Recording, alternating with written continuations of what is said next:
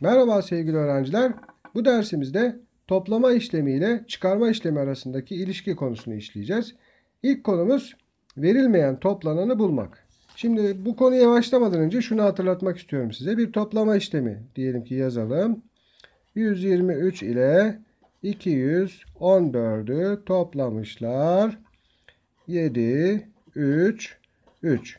Şimdi burada toplama işlemindeki elemanların isimlerini yazalım. Birinci sayımızın ismi toplanan.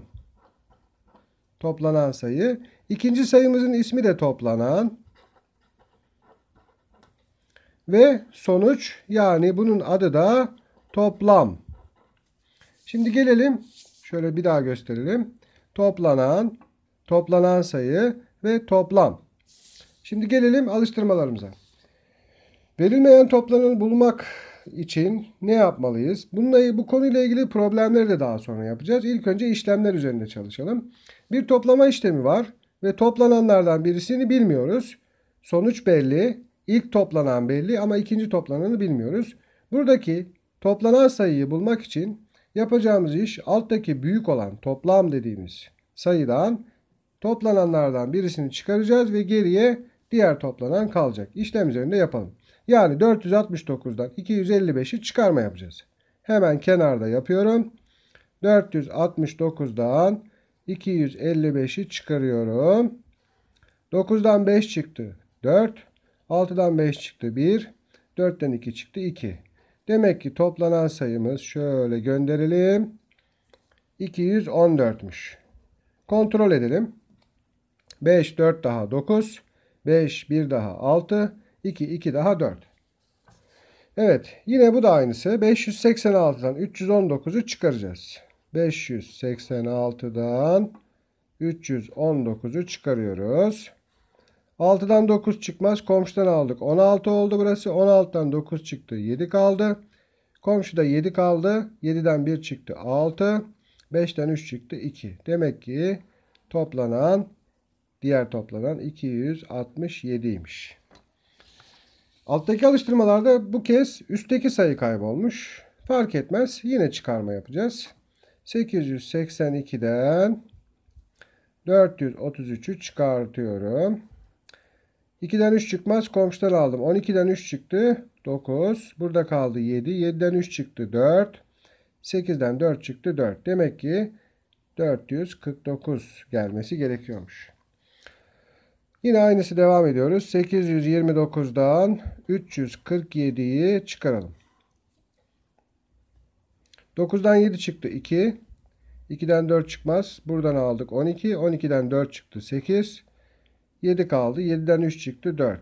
Demek ki buradaki sayımız da 482'ymiş. Alttaki alıştırmalar ise biraz daha farklı. Burada 3 tane toplanan var. Ve toplam var. Ama toplananlardan birisi yok. Bilmiyoruz. Onu bulmak için ne yapmalıyız? Burada iki işlem yapmalıyız. Şöyle 329 ile 125'i ilk önce bir araya getirelim. Bir sepete koyalım. Ondan sonra 860'tan bu sayıları çıkartalım ve boş kutuyu bulalım. İşlemlerimizi yapalım. İlk önce 329 ile 125'i topluyorum. Bir araya getiriyorum. İkisini bir sepete koyuyorum. Evet toplayalım. 9 5 daha 14. Elde var 1, 2, 3, 5, 3, 1 daha 4. 454 oldu. Şu ikisi 454 oldu. Şimdi ben 865'ten bu ikisini çıkaracağım. Yani 454'ü çıkaracağım ve boş kutuyu bulacağım. 865'ten 454'ü çıkarıyorum. 5'ten 4 çıktı. 1. 6'dan 5 çıktı. 1. 8'den 4 çıktı. 4. Demek ki buradaki sayımız 411'miş. Peki bunu başka bir yolla yapabilir miyiz? Yapabiliriz. İkinci yolda şurada göstereyim. Diğer alıştırmada göstereyim. Yine 3 tane toplanan var. Toplananlardan birisi kaybolmuş. Bilmiyoruz. Ama toplamı sonucu biliyoruz. Buradaki boş kutuyu bulmak için az önceki alıştırmamızda ne yapmıştık? İlk önce ikisini bir araya getirip bir sepete koymuştuk. Sonra alttaki sayıdan bu iki sayımızı çıkarmıştık ve boş kutuyu bulmuştuk. Burada farklı bir yol izleyelim. 705'ten ilk önce 429'u çıkaralım. Bulduğumuz sonuçtan da diğer sayıyı çıkaralım ve bu kutuyu bulalım. Farklı bir yöntem deniyoruz. 705'ten 429'u çıkarıyorum. 5'ten 9 çıkmaz. Komşuda yok. Buraya geldik. Buradan buraya aldık 10. Buradan buraya verdik 15. 15'ten 9 çıktı. 6. Burada 9 kaldı. 9'dan 2 çıktı. 7. Burada 6 kaldı. 6'dan 4 çıktı. 2. 276. Şimdi 253'ü de çıkaralım. 276'dan 253'ü çıkaralım. Ve o zaman üstteki sayıyı bulacağız. 6'dan 3 çıktı. 3. 7'den 5 çıktı. 2. 2'den 2 çıktı. 0. Demek ki üstteki sayımız 23'müş. Peki bunu diğer yolla deneyelim bir daha. Bakalım aynı sayı çıkacak mı? Şöyle ayırayım ben şurayı. Bu birinci yoldu. İkinci yolu da şurada deneyelim. Ne yapacağız? İlk önce şu ikisini bir araya getireceğiz. Sepete koyacağız. 429 253 topluyorum. 9 3 daha 12 elde var 1 2 1 daha 3 5 de burada 8 4 2 daha 6 682 çıktı. 705'ten 682 şu ikisini çıkarırsak geriye burayı bulacağız. 705'ten 682'yi çıkaralım. 5'ten 2 çıktı 3. 0'dan 8 çıkmaz. Komşudan aldık 10. 10'dan 8 çıktı 2. Burada kaldı 6. 6'dan 6 çıktı 0. Bakın aynı sonuç çıktı.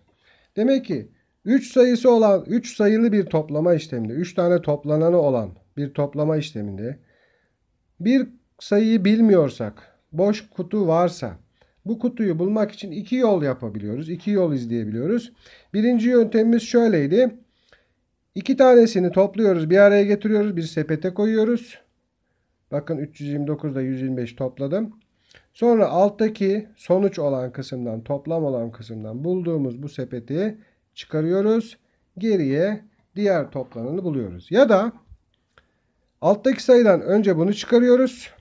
Sonra diğerini çıkarıyoruz. Böylece üstteki sayıyı bulmuş oluyoruz. Bu konuyla ilgili problemlerimize başlayalım. Verilmeyen toplananı bulma ile ilgili ilk problemimiz şöyle. Hasan kumbarasındaki 129 liraya kaç lira daha eklerse 355 lirası olur. Sizlere tavsiyem böyle sorularda eğer bilinmeyen toplanan olduğu sayılarda ilk önce söylenenlerin bir resmini yapın. Nasıl resim yapalım? Şöyle yapalım. Hasan'ın kumbarasında 129 lirası varmış. Onu yazalım. Evet. Kaç lira daha eklerse yani diğer parayı bilmiyoruz. Onun yerine boş kutu yapıyorum. Eklerse, toplama yaparsa 355 lirası olur. Bakın resmini yapmak böyle. Yani buradaki işlemle, e, problemde söylenenlerin bir şeklini, bir resmini yaptım. Şimdi artık kaç lira eklerse onu bulmak çok kolay. 355'ten 129'u çıkarırım. Evet. 5'ten 9 çıkmaz. Komşudan aldık. 15'ten 9 çıktı. 6. Komşuda kaldı. 4. 4'ten 2 çıktı. 2. 3'ten 1 çıktı. 2. Demek ki 226 lira daha eklerse 355 lirası olacak. Yerine yazalım. Evet. İkinci problemimiz 247 fazlası 524 olan sayı kaçtır? Hemen söylenenlerin resmini yapıyorum. Bir sayı var. Bunu bilmiyorum. 247 fazlası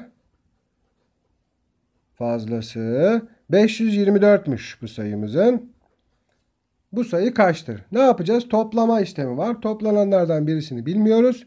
O zaman toplamanın tersini yapacağız. Alttaki büyük sayıdan üstteki sayıyı çıkaracağız.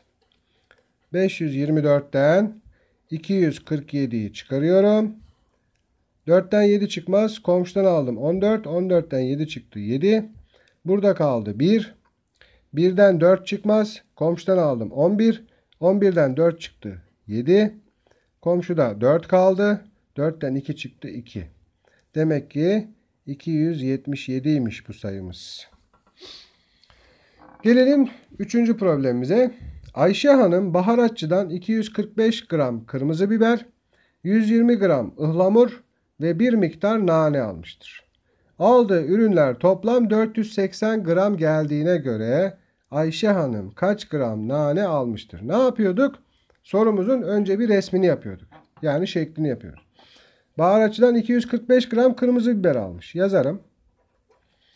120 gram ıhlamur almış. Onu da yazalım.